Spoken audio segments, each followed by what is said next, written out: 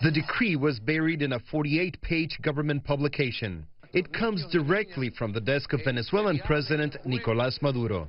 The vaguely worded decree says the government of Venezuela can force both public and private sector employees to work in the country's fields for periods of at least 60 days. This work period can be extended, the decree says, if circumstances merit. Starting with the late president, the socialist Hugo Chavez, Venezuela nationalized many companies, foreign and domestic. Many of those companies have shut down or are no longer producing at the level they once did, which has created shortages of many products, including food staples. This business leader says President Maduro's decree is misguided. This is the closest thing to slavery we've had, he says. Amnesty International says the decree effectively amounts to forced labor and calls it unlawful.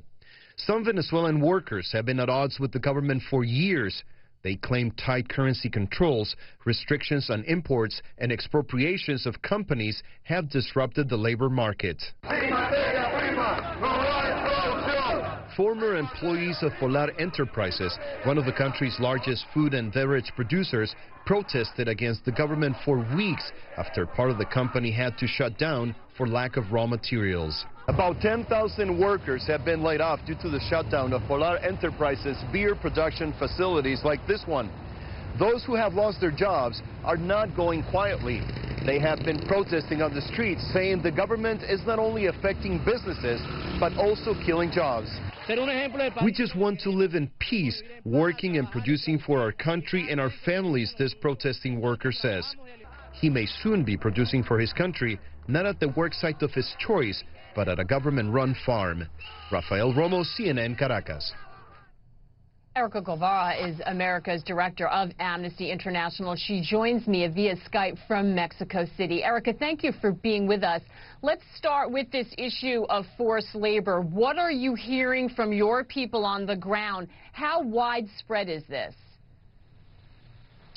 Well, thanks, Maggie. Uh, unfortunately, as what is being happening these days in Venezuela, we are not necessarily sure how this decree is going to be implemented. What we know is that it is going to be implemented in the context of the state of emergency that President Maduro declared a few weeks ago back in May. And it's very concerning because we know that what this decree and this state of emergency are doing is giving more power to the armed forces. And now, of course, in a situation that is quite critical in Venezuela with the shortage of food, medicine, uh, the polarization of society, and more important, the hunger that people are suffering and experiencing, the, the context is quite adverse.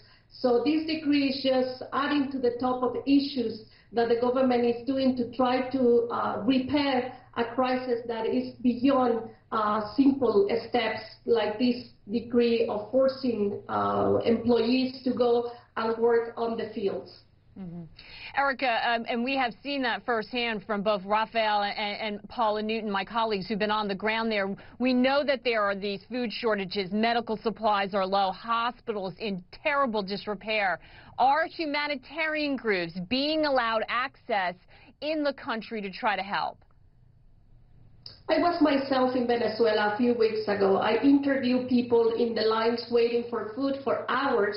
They were waiting for basic food. In most cases, people were not accessing this food, even spending 12, 13 hours in a line. We went into hospitals and we were able to witness the level of destruction that exists in this hospital. I visited uh, the pediatric hospital in Caracas, one of the most important hospitals across the country. I mean, people still go to this to this hospital coming from different parts of the country precisely because the situation is even worse in many states in the country.